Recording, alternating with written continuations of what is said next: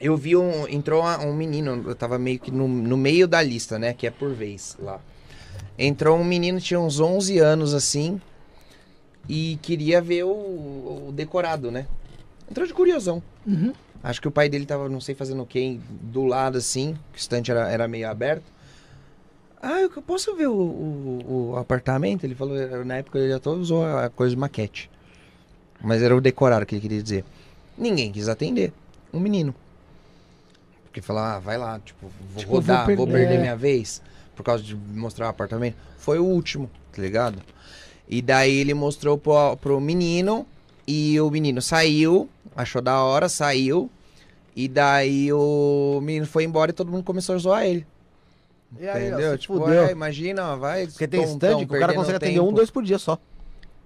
Se atender um, dois por dia é muito, É. mano. Stand perto de lançamento tem, Inferno. tipo, 100 corretores, mano. É, não é uma guerra ali, né? de É uma guerra, é muito, muito corretor. Eu Tem vejo, mais corretor do um que eu tem pra cadeira. Tá ligado?